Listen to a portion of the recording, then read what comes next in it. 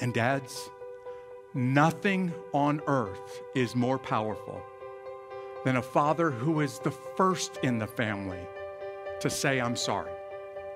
The first one in the family to say, I messed up. The first one in the family to say, God, forgive me. I was wrong. God, I need you to change me.